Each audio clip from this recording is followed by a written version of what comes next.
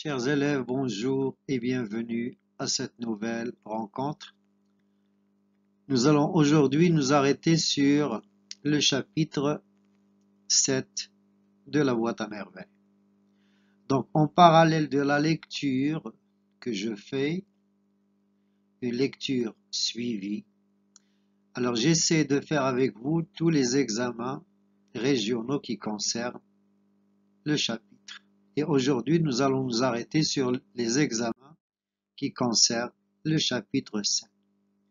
Voilà, donc, on va commencer par l'examen régional de Kazakhstan 2021. Puis on va passer à l'examen régional de Bniml al-Khnefa 2021.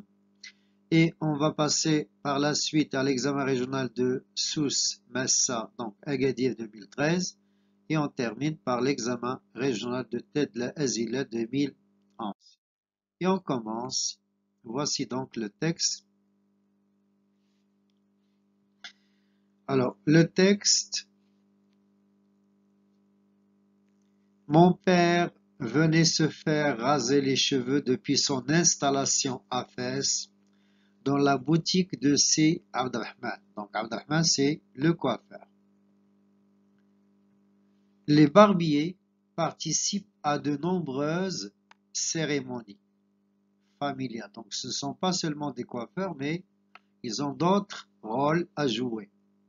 Donc les barbiers participent à de nombreuses cérémonies familiales. À ma naissance, mon père, montagnard, transplanté dans la grande ville, désirait néanmoins fêter dignement mon arrivée au monde. Abdelrahman lui fut d'un excellent conseil, il vint selon l'usage accompagné de ses deux apprentis, les apprentis talmi, placer les invités et faire le service pendant le repas. Voilà donc le rôle joué par Abdelrahman et ses apprentis, c'est de s'occuper du service lors d'une fête. Lors de ma première coupe de cheveux, mon père eut recours à ses soins et fit encore grand cas de ses avis et recommandations. Je n'aimais pas Sir Abdelrahman. Je savais qu'il serait chargé de me circoncire. Alors, circoncire ici, c'est faire la circoncision, Je redoutais ce jour. Alors, je redoutais ce jour, c'est-à-dire si Mohammed a peur du jour où Abdelrahman va le circoncire, va dire Je sentais des frissons me parcourir l'épiderme quand je le voyais manier. Alors manier, ça vient de la main, c'est tenir à la main, fito, le rasoir ou les ciseaux.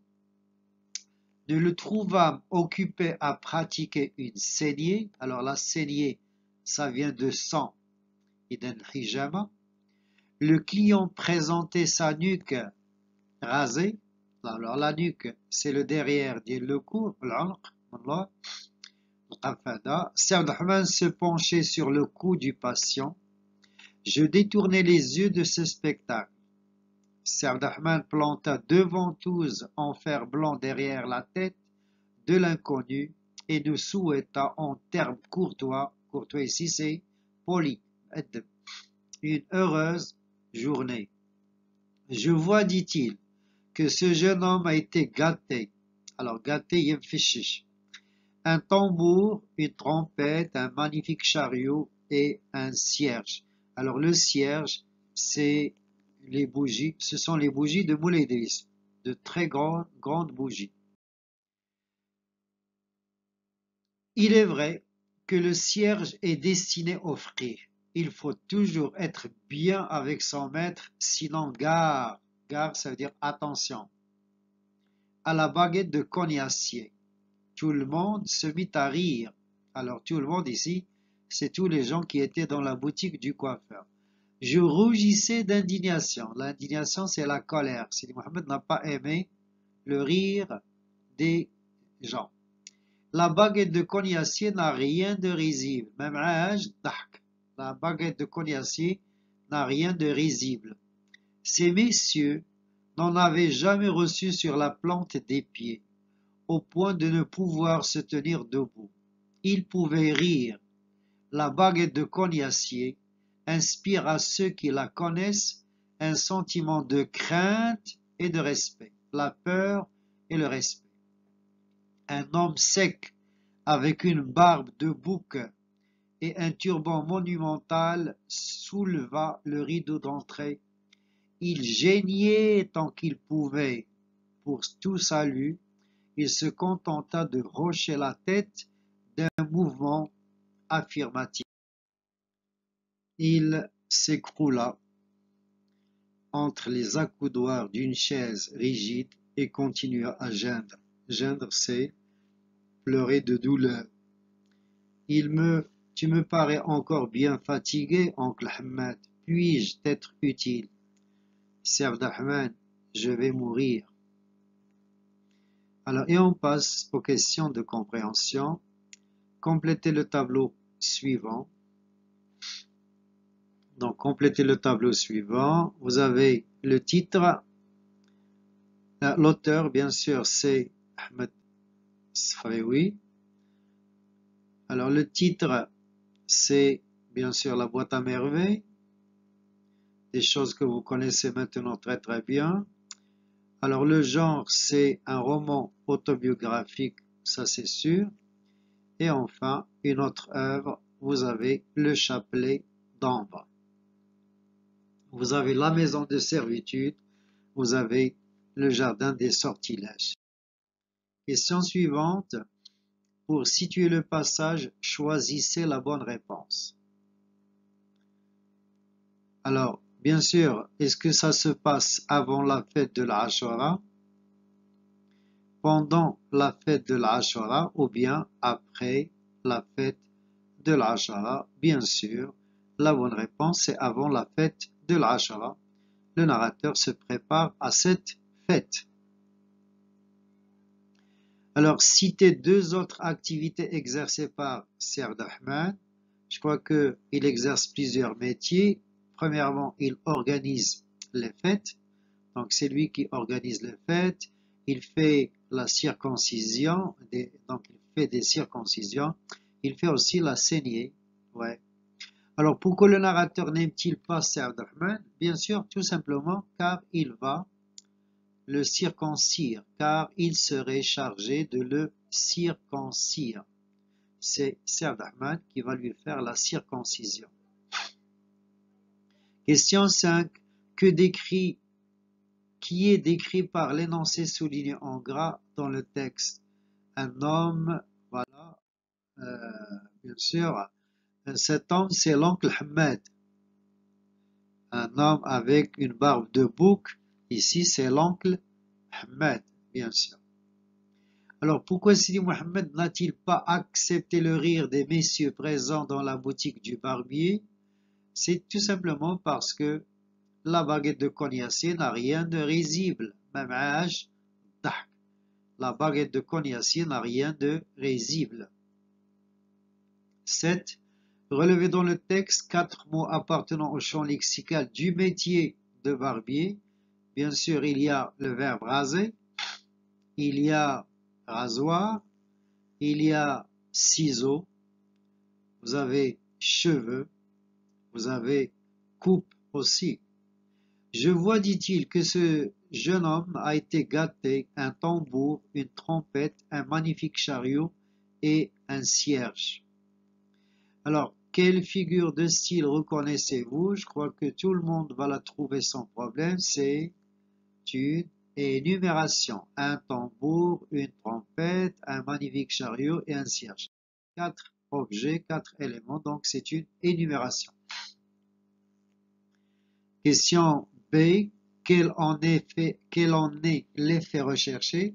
Bien sûr, l'effet recherché est de montrer que Sidi Mohamed est un enfant gâté par son père. Sidi Mohamed est un enfant gâté par son père. Il lui achète tout ce qu'il veut. Alors la boutique du barbier était-elle un espace de joie pour le narrateur Justifiez votre réponse. Donc là, c'est une réponse parmi d'autres, donc c'est pas la seule réponse.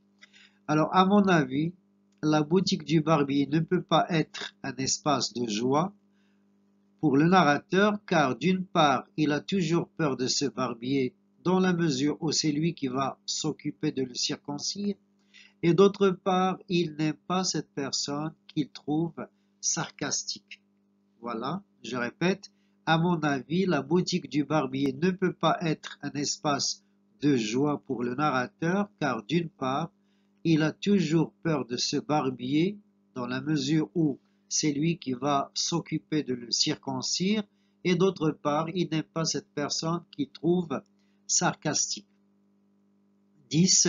Que peut-on dire de la place qu'occupait le barbier dans la vie des hommes de cette époque Voilà une réponse possible. Personnellement, je trouve que le barbier autrefois avait une grande valeur dans la société car il rendait de multiples services aux gens. Il était coiffeur, mais aussi médecin, pharmacien, chirurgien, dentiste, etc. Alors, pour le sujet de production écrite, juste pour avoir une idée, à l'époque d'Ahmed Sfayoui, les barbiers, comme d'autres artisans, accomplissaient des activités relevant plutôt de la médecine comme celle de circoncire les enfants, arracher les dents, pratiquer des saignées sur la nuque des adultes et bien d'autres pratiques. Ces activités pratiquées par des gens non spécialistes en médecine pouvaient avoir des conséquences parfois regrettables pensez-vous comme euh, pensez-vous euh, même de nos jours, on doit encore accorder notre confiance à ces artisans? Et on passe au deuxième examen régional, c'est l'examen régional de Bnimlel Khnefra 2021 pour la section scientifique. Et le texte, le voici. La lumière brillait à toutes les fenêtres de la maison hommes et femmes commençaient l'année dans l'activité, ceux qui restaient au lit un matin comme celui-ci se sentiraient durant douze mois indolents, paresseux. Indolents, c'est paresseux. L'appel d'un mendiant nous arrivait de la rue. J'entendais le bruit de sa canne, c'était sûrement un aveugle. Je perdais mes babouches tous les trois pas. Mes parents voyaient grand, ni les vêtements, ni les chaussures n'étaient à ma taille, mais j'étais heureux. Une fois dans la rue, mon père me glissa dans la main une pièce de cinq francs et me mit entre les bras le cierge dont nous avons fait l'acquisition. L'acquisition, c'est l'achat. C'était là mes cadeaux de nouvel an pour le maître d'école. Les passants que nous rencontrions me souriaient avec bienveillance. Les boutiques étaient ouvertes, les rues éclairées. Je faisais de terribles efforts pour retenir mes babouches. De loin, j'aperçus les fenêtres à auvent de notre école. Je faillis lâcher mon cierge d'enthousiasme, l'enthousiasme ou el Donc, je faillis lâcher mon cierge d'enthousiasme. Des grappes de lumière pendaient et transformaient cette façade habituellement triste et poussiéreuse en un décor de féerie. Les lampes à huile diversement colorées scintillaient, alors scintillaient ici c'est briller, et par leur seule présence créaient un climat de raffiné de fête et de joie. Je hâtais le pas. Hâter, c'est accélérer. Les voix des élèves montaient claires dans la fraîcheur du matin, elles rivalisaient de gaieté avec les dizaines de petites flammes qui dansaient dans leurs bains d'huile et d'eau teintée des couleurs de l'arc-en-ciel. Cette impression de fête fabuleuse s'accentua lorsque je poussai la porte du site. Je n'étais pas plus le prince unique au gilet de drap amarante, je devenais un membre d'une congrégation de jeunes seigneurs, tous richement vêtus, chantant sous la direction d'un roi de légende des cantiques d'allégresse et des actions de grâce. Et on passe aux questions de compréhension. Première question, remplissez ce tableau en vous référant à l'œuvre dont est extrait ce texte. Et voici donc le tableau. Alors, dans ce tableau, vous avez le titre. Bien sûr, c'est la boîte à merveille. Vous avez, bien sûr, la date de publication, c'est 1954. Vous avez l'auteur, c'est bien sûr Ahmed Sfayoui. Et enfin, nous avons la nationalité, c'est un Marocain. Donc c'est un Marocain. Alors question 2. Lesquels des événements suivants précèdent le texte? Alors, Malam Abslam a pris Sidi Mohamed chez le coiffeur. Euh, Sidi euh, Abslam a emmené le narrateur au bain mort. Malam Abslam a acheté des jouets à son fils. Alors, euh, quand on a une question quelconque, la compréhension, on doit toujours faire attention à sa lecture. Alors regardez, on nous dit lesquels, on n'a pas dit lequel. D'habitude, on nous dit lequel, mais là c'est lesquels. Ça veut dire qu'il y a au moins deux. Alors, Malam Abslam, après Sidi Mohamed chez le coiffeur, je crois qu'on l'a vu tout à l'heure. Donc c'est vrai. Malam Abslam a emmené le narrateur au bain mort Jamais, parce que Sidi Mohamed va avec sa mère. Malam Abslam a acheté des jouets à, son fils Oui, c'est vrai. Je crois que on l'a vu dans un passage précédent. Donc les deux phrases qui sont correctes, Malam Abslam a pris Sidi Mohamed chez le coiffeur, mais avant, Malam Abslam a acheté des jouets à son fils. Question suivante, on va passer aux questions d'analyse. Alors, observez l'énoncé suivant. Ceux qui restaient au lit un matin comme celui-ci se sentiraient durant douze mois indolents et paresseux. Ceux qui restaient au lit un matin comme celui-ci se sentiraient durant douze mois indolents, paresseux. La question. Selon le narrateur, pourquoi tout le monde devait se réveiller tôt le jour de l'Ashara Pourquoi tout le monde devait se réveiller tôt le jour de l'Ashara Je crois que la réponse, c'est pour éviter d'être toute l'année indolent et paresseux. Est-ce qu'il s'agit d'une réalité ou bien d'une croyance populaire? Bien sûr, ce n'est pas une réalité, c'est juste une croyance. C'est ce que les gens croient. C'est une croyance populaire. Quatrième question, Sidi Mohamed était-il gêné dans ses nouveaux vêtements? Vous allez répondre pas oui ou bien non, mais oui, bien sûr, c'est vrai. Alors B, relevez un indice du texte qui le montre. Qu'est-ce qui montre que Sidi Mohamed était dérangé, gêné par ses habits je crois qu'il y a une phrase qui le montre, je perdais mes babouches tous les trois pas.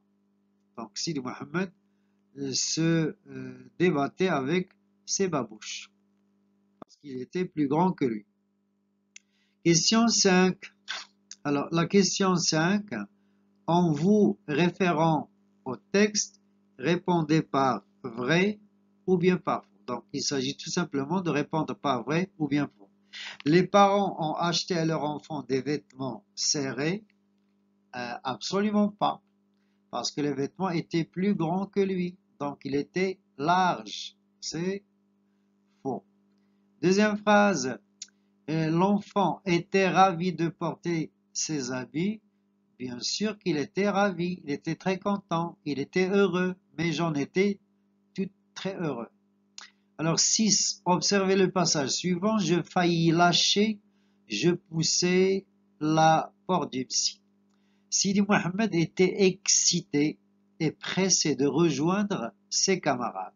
Relevez deux indices qui le montrent, donc qui le confirment. Donc Sidi Mohamed était pressé d'aller à l'école et de rejoindre ses camarades de classe, ce qui le montre, ce, les, les phrases que nous allons voir tout de suite.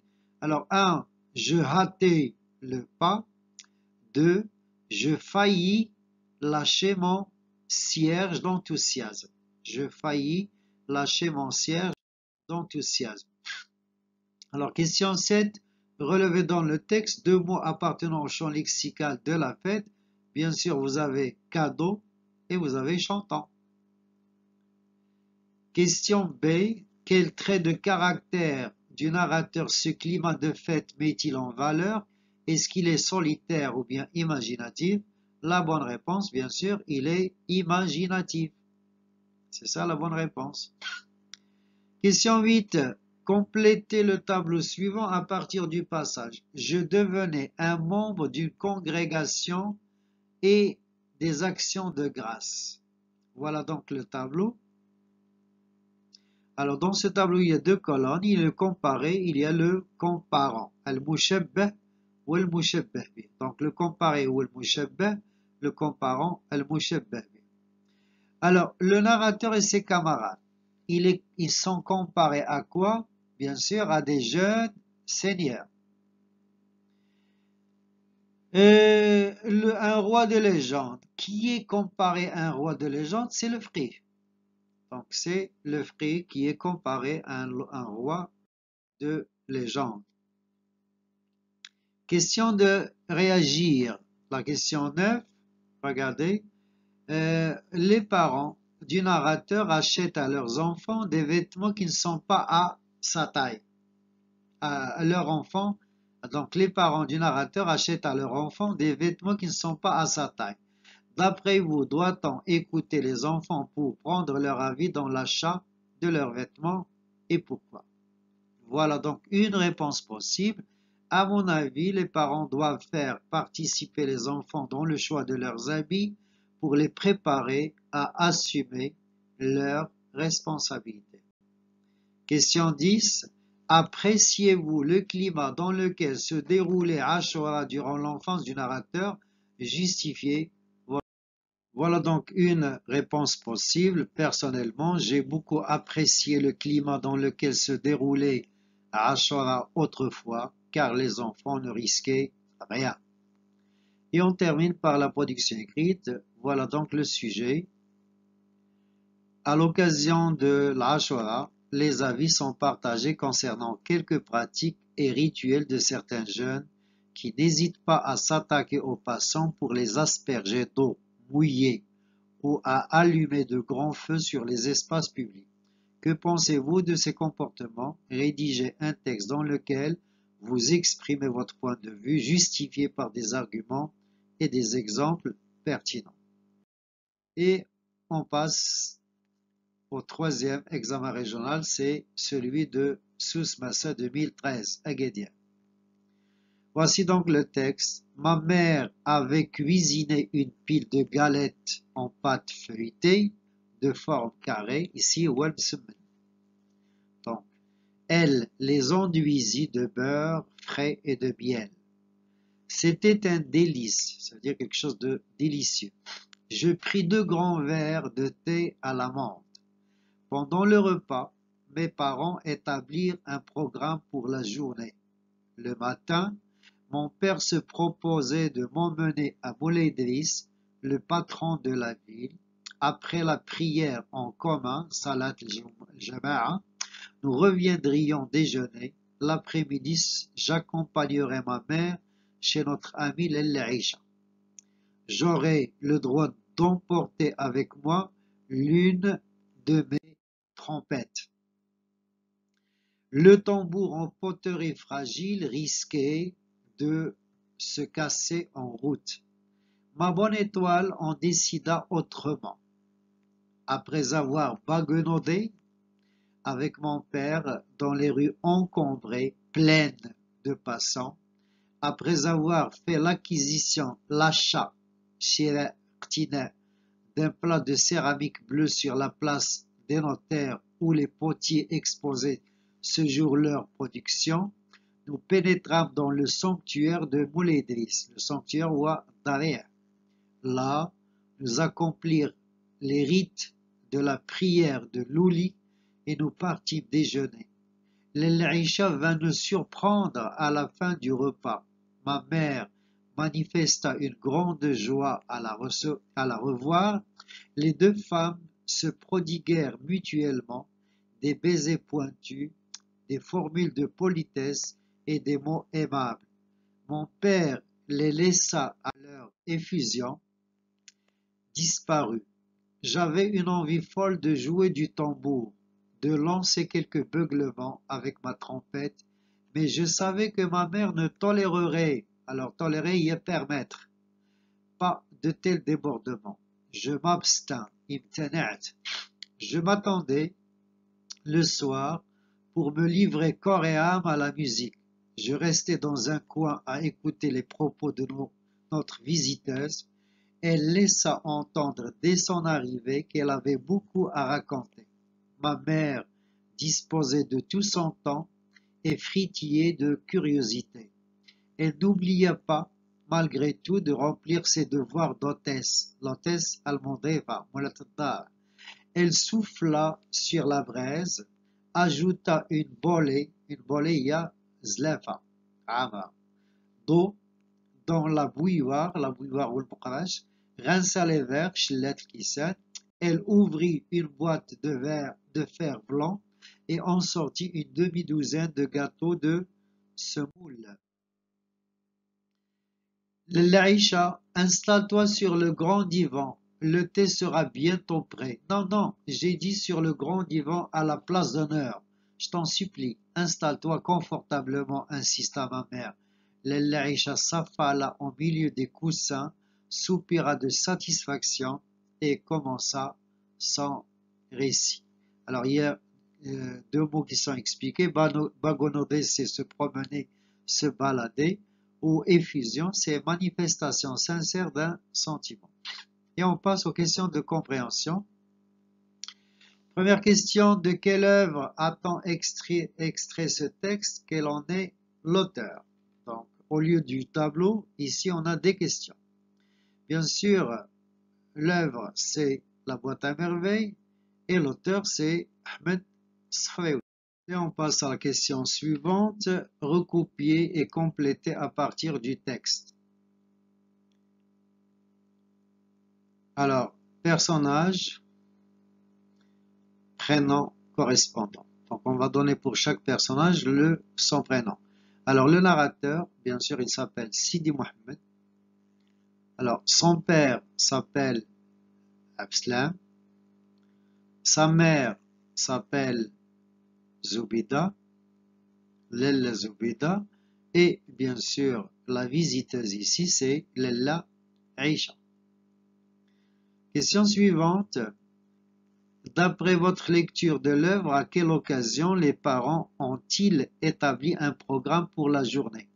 C'est à l'occasion de la fête de l'Ashura. Troisième question, est-ce que ce programme a été entièrement respecté? Justifiez votre réponse. Non, ce programme n'a pas été respecté entièrement car l'Aïcha va nous surprendre à la fin du repas. Alors, l'Elzoubida avait projeté de visiter l'Aïcha en compagnie de Sidi Mohamed, mais c'est l'Aïcha qui est venu visiter, rendre visite à Lella Zubida. Question 4. Relevez dans le texte un indice qui montre que la mère est autoritaire. Bien sûr, Lella Zubida est une femme autoritaire avec Sid Mohamed. Alors, je savais que ma mère ne tolérerait pas de tels débordements. Je savais que ma mère ne tolérerait pas de tels débordements. Question B. Un indice qui montre que l'enfant est obéissant. Bien sûr, il y a un verbe, on a déjà parlé tout à l'heure de je m'abstiens. Alors pendant le ramadan, on s'abstient de manger et de boire. Alors bon, ma bonne étoile en décida autrement.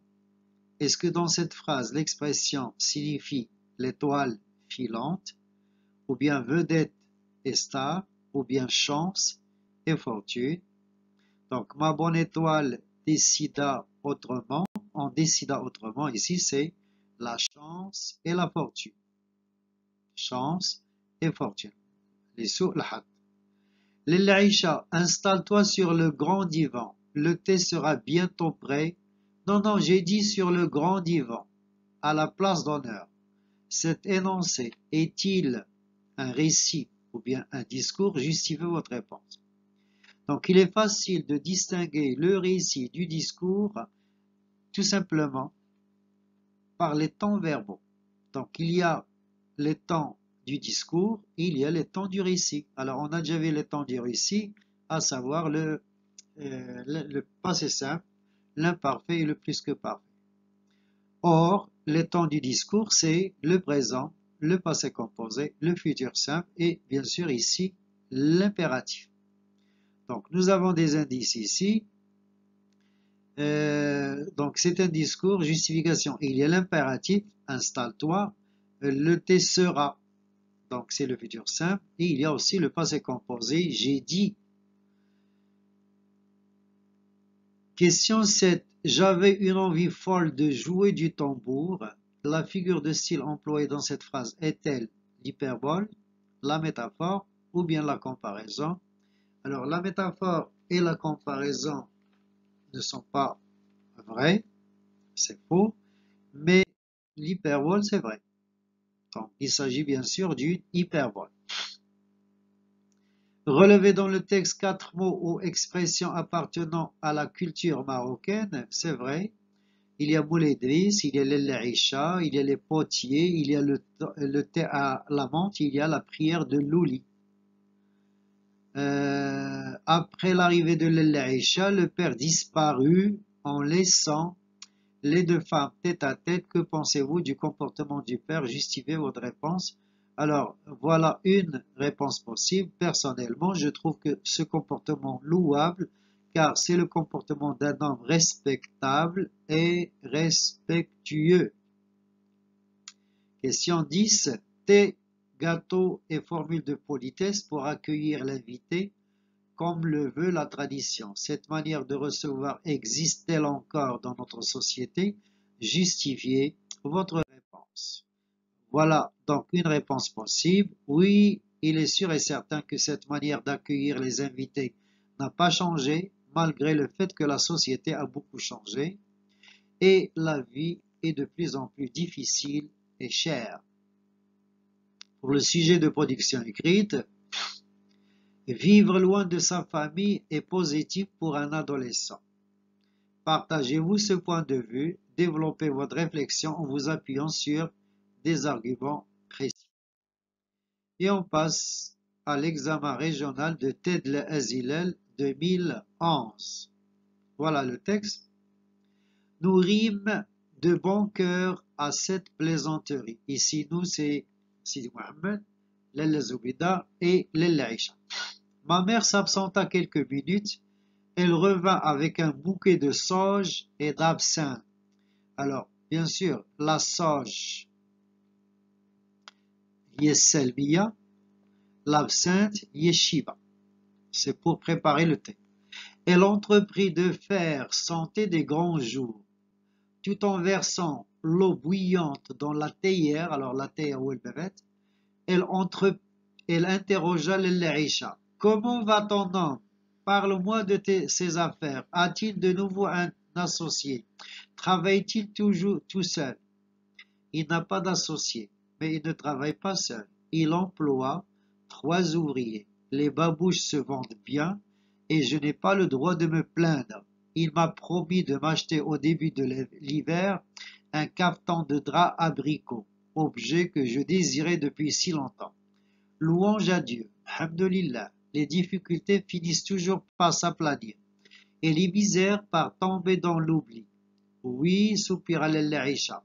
Ma mère attendit de nouvelles explications, mais subitement alors subitement c'est soudain, Fej'atan, son ami, se taisait.